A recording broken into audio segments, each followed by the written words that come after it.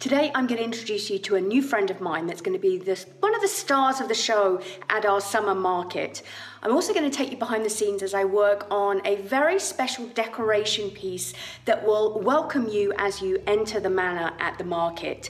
And I'm going to give you a sneak peek of our new logo for the Thirsty Whippet pub. We've never shown anyone before today, and you are going to be the first to see what the new lo logo looks like. And don't forget, if you're enjoying our videos, make sure you hit subscribe on our Ladysmith Manor Diaries channel on YouTube to ensure that you see all our videos as we put them out. But first, let me show you what we've been up to this week.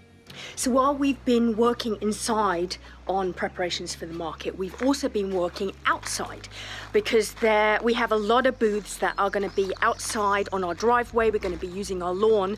So we have been doing a lot of preparation out here. And you'll remember we had our chicken coop uh, removed a little while ago and there was some a little area that was still um, very rough and didn't have gravel down so this week we had the guys come back they've leveled it all they've added the gravel and it has just changed the whole area again and given us a much much bigger space that we can use for booths and uh, giving everyone at the weekend at the summer market lots more space to move around. And we couldn't have a secret garden inspired summer market without flowers. And my mum has been doing an amazing job of adding flowers to pots into our um, window boxes or I guess they're porch boxes because they're on our porch rather than in our window. But each of these boxes now is filled with colour. Um, we've got all sorts of pots and flowers that are blooming.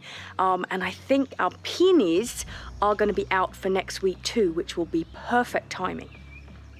It seems like at each market we lose a couple of tents through weather, whether it's rain or wind. So this year we decided to purchase a couple of more sturdy structures that were used alongside the tents.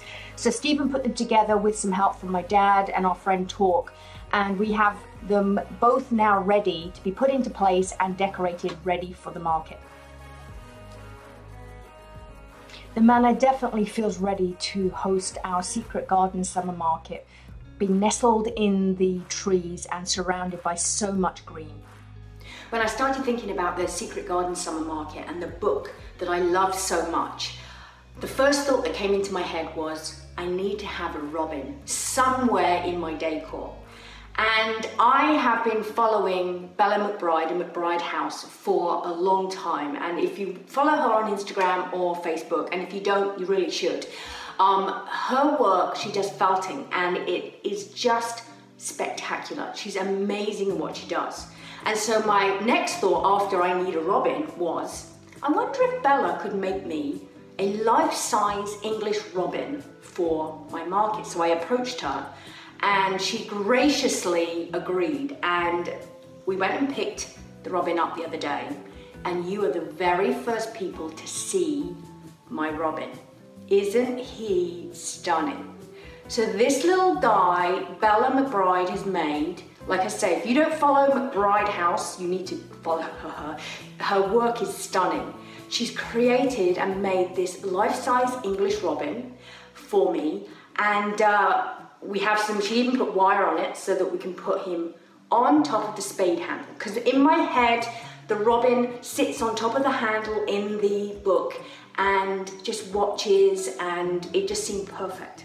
So this little guy is just my absolute favorite. He's my new little best friend. He uh, is being very, very carefully watched because Hendrix has had a little bit of a track record. If you remember Frank Jr., our little mouse, at Christmas a couple of years ago, he didn't fare too well and ended up in lots of pieces on the floor. So uh, our Robin is being very safely guarded on a very high shelf, so Hendrix can't go near him. Um, but he is going to be our kind of star of the show when you first come into the manor and the summer market. And this mural that Jackie and Peggy did for us this year is the perfect place. So today I'm going to be working on a little project that I've come up with to create a very little a magical space for the robin to sit in. And uh, the first thing I need to do is to get a bucket of earth for my spade.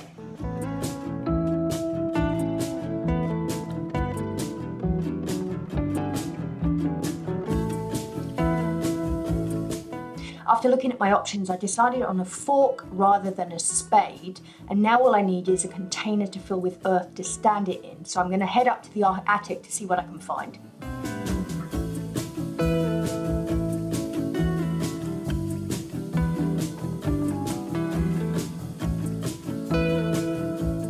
So I've just filled this bucket with earth from outside, and uh, it is now ready for my fork to go in. So the idea is that the fork goes in and stands up and then I can add my robin onto the top.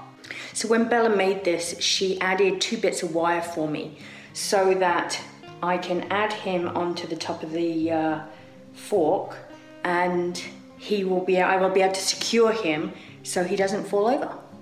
So with him now sitting happily on top of the handle, it's now time for me to move everything around here in the wall, in the hallway um, and get him sitting in front of the mural and ready for everyone to arrive at the manor. And when you come, you'll be able to say hi and see how it looks when it's all finished. Do you remember the really large tree that came down in the hurricane and we actually put it up at the front of the manor and covered it with lights for our Christmas market? Well, it finally came down this week, and that seems like a long time after Christmas. Um, but we were actually going to take it down earlier, but discovered that a we had a bird's nest that was in the tree. And obviously we wanted, we didn't want to disturb the bird's nest, so it ended up staying up a lot longer than we were expecting. But this week it came down because we made, we made sure that the birds were gone, the nest was empty. But just look what Stephen saved for me. Look at this stunning bird's nest. It just blows my mind how amazing nature is. Just to think that a bird created that and it even kind of looks like a heart, which is even more adorable. So I've kept this and I'm actually going to use it in my decor for the summer market because uh, it's so pretty that uh, it will be placed somewhere in my decor, so when you come to the market, you'll have to keep your eyes open for it. But uh, just so, so beautiful, and it's kind of perfect timing um, that uh, we have the, the nest, and uh, I'm decorating in the next, uh, next week or so. I thought I would come down to the pub to give you the first look at our new Thirsty Whippet pub logo. Uh, we have just finished it and you are the first to see it and we are so thrilled. It is such a fun logo um, and if you've been following us you'll know that we're using our Whippet, Hendrix. Uh, we took a photo of his head and we've added a vintage military uniform to him and he's kind of our mascot. Um, he's going to be on all our Thirsty Whippet um, marketing material and our logo and uh, his portrait will be in the pub. Um, but he looks so, so great with this on this logo. I, it's just so fun. Um, and so you will now start seeing that in lots of places. We will be releasing and starting our Instagram and Facebook pages in the coming months. Um, we are getting very close to opening. Uh, we're still not quite there, but we are getting very close. We're just waiting on, still wading through the red tape. Um, it's been a very frustrating process and been delayed for so, so long, but we can see the light at the end of the tunnel and we are fighting our way through as quickly as we can because I know that everyone is waiting for the pub to open. But our logo is done and we are working on all the bits that we can do while we're waiting for all these people to sign everything off. Um, so like I say, you'll start to see this a lot more over the coming months, but uh, just really excited to actually have a logo now. So this is the list of all the entries to our ice cream flavor contest.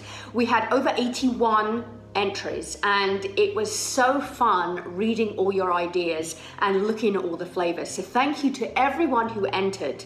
We have gone through the list and we have now, with along with Sussex Ice Cream, we have decided on a winner. So I now know who has won the ice cream contest, but I'm not going to tell you because that would spoil the fun, right? So we will be announcing at the market. So to find out if you won, you need to come to the market on the 15th or 16th, come to our ice cream bar and find out whether we are serving your flavor. So we will be serving the winning flavor at the ice cream bar on the 15th and 16th. The winner will also get two pints of their flavor to take home with them as uh, part of their prize. But like I say, you're gonna need to come to the market to find out what the winning flavor is. And we're gonna not only just have our winning flavor, we're gonna have a whole bunch of other flavors from Sussex Ice Cream as well for you to choose from. So um, I'm so excited. I'm trying hard because I'm not very good at keeping secrets, but I'm going to keep this a secret till the 15th and 16th when uh, this person will find out that they've won. But we're very excited. And like I say, thank you to everyone who entered. It was such a fun contest, and I can't wait to actually taste it. But and if you haven't got your uh, your tickets yet to the market, make sure you click on the link below in the comments. Um, and or head over to our website and reserve your tickets um, because we have got such a great market planned for you. There's going to be so many vendors and activities and ice cream that you won't want to miss this. Uh, so make sure that you've reserved your tickets by heading over now and getting those. And uh, I can't wait like I say, to see you at the market, but also to taste this flavor of ice cream because it's gonna, it sounds yummy and I cannot wait. So uh, I'm gonna get back to work and uh, next week will be, will be just a couple of days away from the market. So I will be able to give you a lot more behind the scenes of our preparation and much more of the manor will be completely transformed by then. So we'll be uh, sharing that with you in our next video. But until then, I'm gonna get back to work and I'll see you back here for our next episode of the Ladysmith Manor Diaries.